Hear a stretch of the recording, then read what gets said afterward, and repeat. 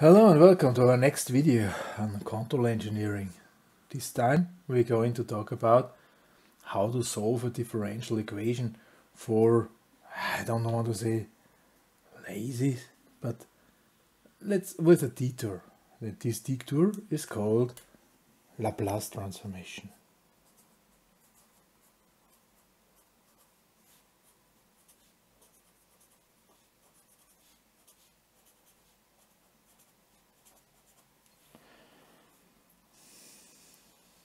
First,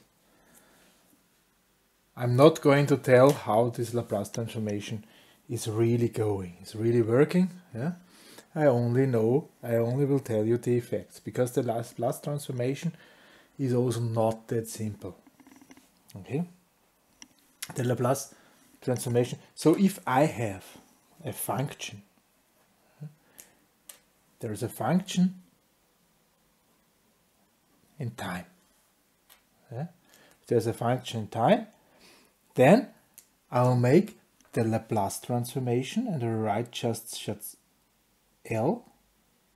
Yeah? This means this is Laplace transformed and this Laplace transformation will end up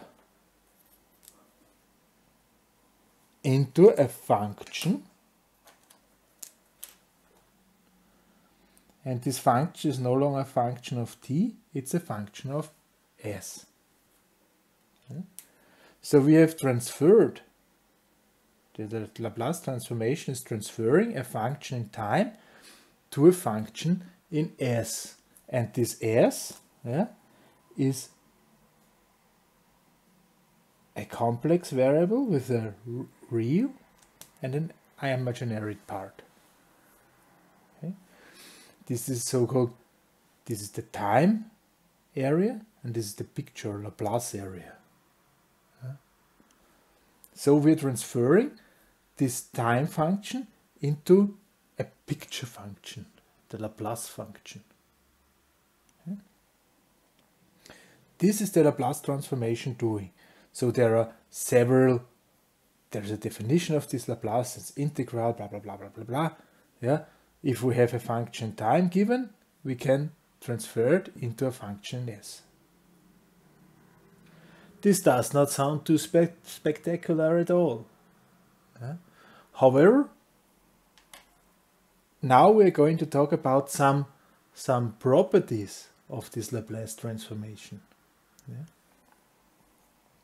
So, one property is called linearity. Linearity.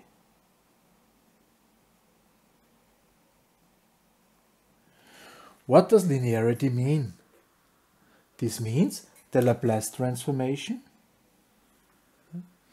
of two functions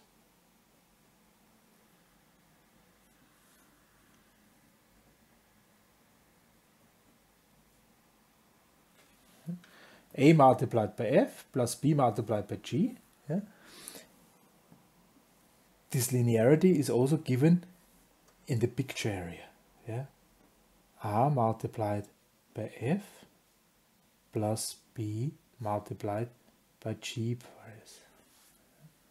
So if there's a sum of functions, it's simply a sum of functions here also. And also linear coefficients will stay linear, linear coefficients. Yeah? Linearity. One thing of the Laplace transformation. Very important thing of the Laplace transformation is the derivation rule. Derivation rule.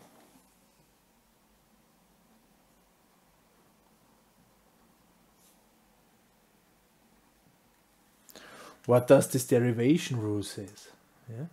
If we do have a Laplace transformed yeah, of the nth derivation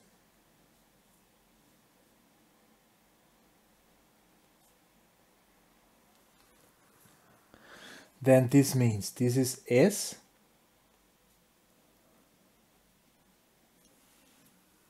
Okay. And now it's a little bit a little bit tricky. This means this is S n minus 1 f at the zero, yeah, at the time zero, yeah, minus s n minus 2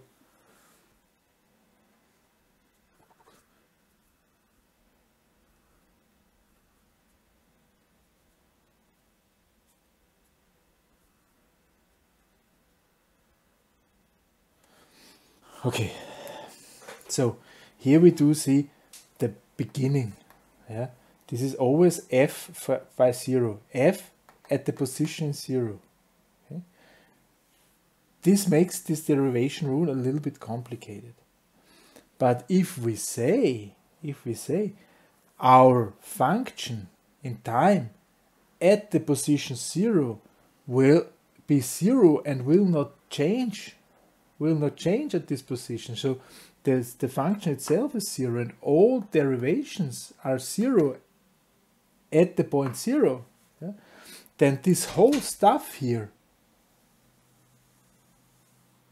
suddenly is zero. Yeah? And then the derivation rule folds down to the simple part, the nth derivation of a function in time, time area, is a multiplication with s raised by the power of n in picture area. Yeah.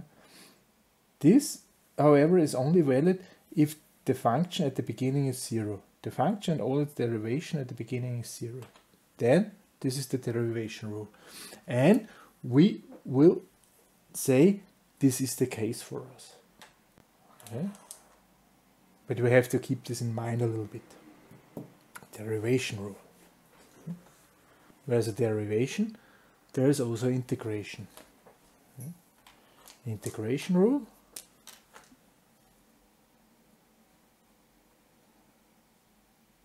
Integration rule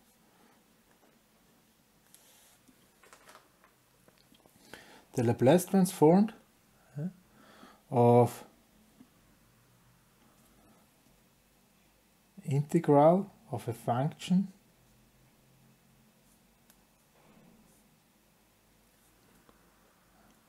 is 1 divided by s.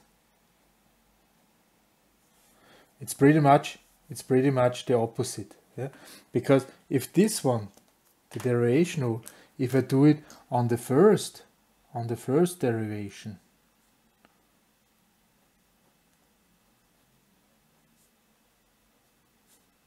It's a multiplication bias. Okay? And here, one integration is a division bias. Then there are other things.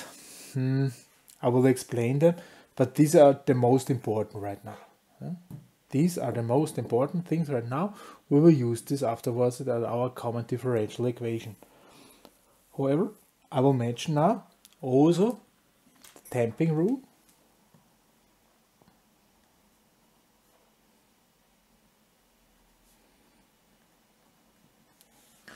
The Laplace transform of a function which is damped over time yeah, is in the picture a shift by exactly this damping factor. Okay? So if in the picture area a function is shifted, yeah, then in, in time area this is damped. Then I do also have time shift rule.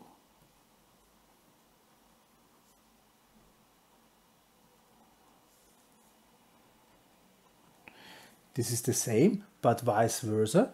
So if we have a Laplace transform of a function which is shifted in time, then it's damped.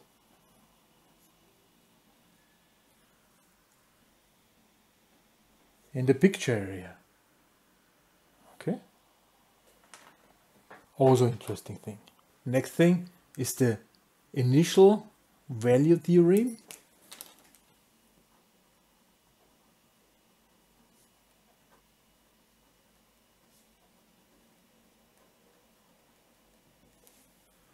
What does this mean?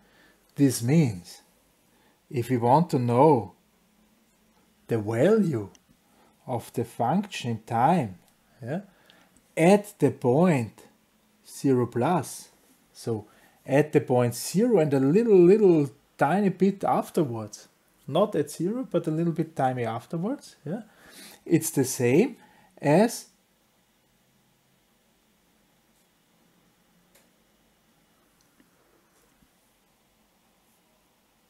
we let go s to unlimited. s multiplied by s to an These two things are the same. So if you want to know where we start in time, I have in the picture area, I just have to multiply by s and let s go to unlimited.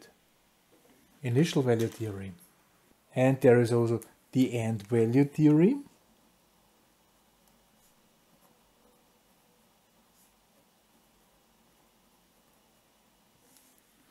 if I want where I end up in time, somewhere in the distant future, yeah, then it's the same.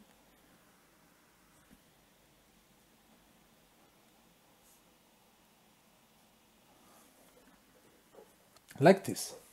S multiplied by fs in picture and let s go to 0. Then we know where we want to, where we are going in time. That's the properties. That's very interesting properties of this Laplace transformation. Like I said, we don't know how this Laplace transformation is really working, but we can make use of these properties. And we will do this now, okay? We will do this now, make use of the properties let's remember our differential equation. Okay. Let's remember this differential equation and let's have a look where we can use it. Yeah. So there is derivation, derivation rule, derivation, derivation rule, integration, integration rule, uh, derivation, derivation rule. Ah, okay. Let's let's apply this. Yeah. Let's apply this and see what is the result. Okay. So this equation, this equation, I now want to transfer into the Laplace picture area. Derivation rule.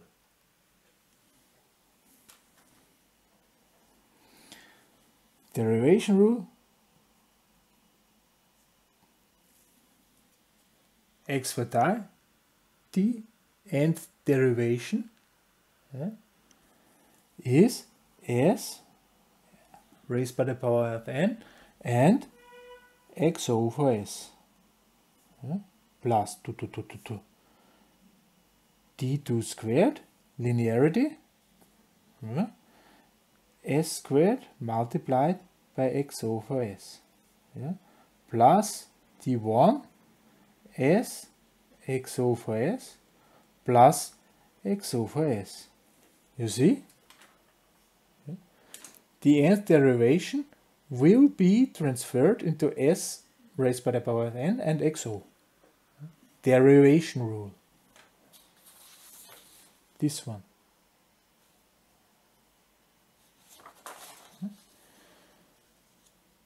Now what we've got here, here we've got the integration rule integration rule and this is f2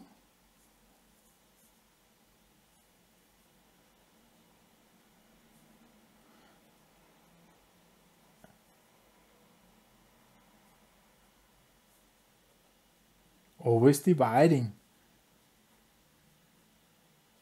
Bias yeah? Here linearity rule. And here we again have derivation rules. Okay, here again we have derivation rules. R1,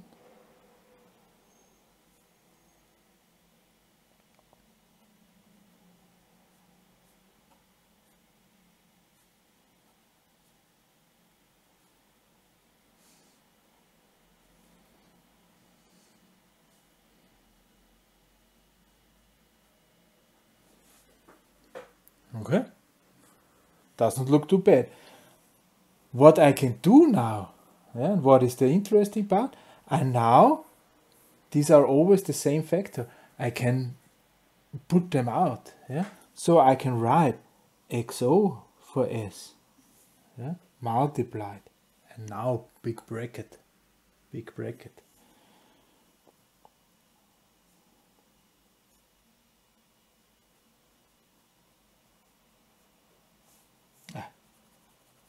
Already wrong.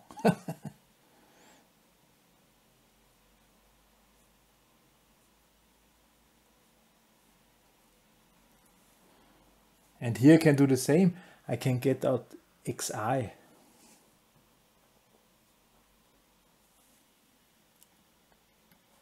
Big bracket.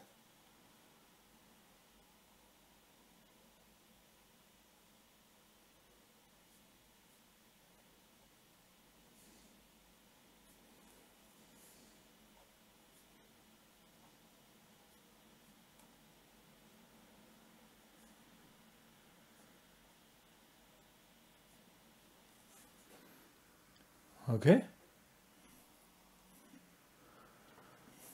Now I can even do the following. XO, the output is the input. And now I have above something, so it's f2 divided by square plus f1 s plus R0 plus R1 multiplied by S plus R2 S squared plus Rn Sn divided, this is this stuff here, yeah, divided by this. Yeah. So this is 1 plus st1 plus s squared t2 squared plus s hoch n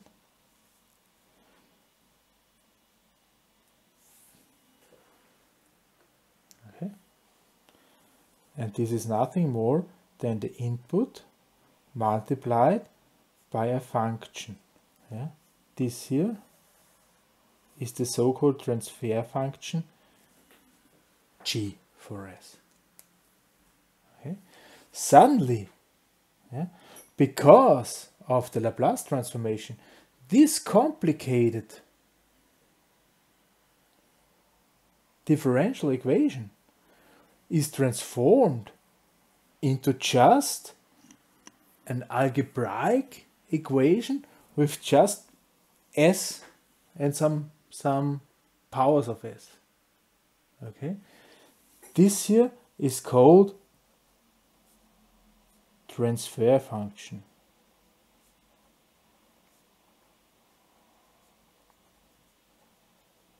Übertragungsfunktion this is the transfer function describing how the input is transferred into the output. Okay. So, coming back to this here, here we do have the transfer function g of s. So, what we do have, what we do have, there's a GVS, there's an output, and there's an input. How can we calculate it now? We do usually have some input in time. Yeah? This we're going to Laplace transform. Then we're getting this input in S. Yeah? Once we have this input in S, we multiply it with the transfer function. We get this output in S, and this output in S, we do the inverse Laplace transformation, and we get the output in T. Hmm? Easy, right? We do not have to solve the differential equation. We solve it in the picture area. Yeah? We make one Laplace transformation for the input function, we solve it in the picture area just by calculating, standard calculating, nothing with derivation and so on, blah, blah, blah. And then we do inverse Laplace transformation, we get the time, the output in time. Okay. This is the theory. In reality, this inverse Laplace transformation is also not that easy. Yeah? However, it's easier than solving a differential equation. You also need to have some practice here to do this inverse uh, Laplace transformation. It Can also get quite tricky. A good thing is that control engineers also thought, hey, this, this is quite tricky. Maybe I can find somehow a solution for this issue. I don't want to do tricky things. And they really managed that just by looking at this transfer function and thinking about this transfer function and the factors and so on, what this f and this r and the d is, what does this mean for stability and so on, that it is enough for us to read out important information just from this transfer function. This is possible. So we're looking at the transfer function and know how the thing might behave or will behave.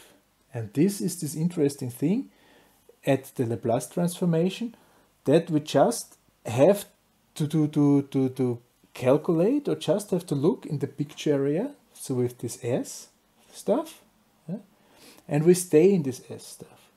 The important thing is that we know this S is not anything. Yeah? It is something which is derived from the time by the Laplace transformation. But if I do not want to do the Laplace transformation, yeah, because this can get quite tricky, for stability reasons and so on, it's enough to look at this transfer function and I can read something out of it. And this is actually what we try to do yeah, with our control engineering. We want to make some statements about stability, uh, about necessary gains and so on. And there is enough to calculate with transfer functions. So now we know what a transfer function is. Next time we're going to we are going to calculate a little bit with transfer functions. Yeah? We see what these transfer functions important also that this is a non-reactive transfer function. The output has no influence on the input. Yeah?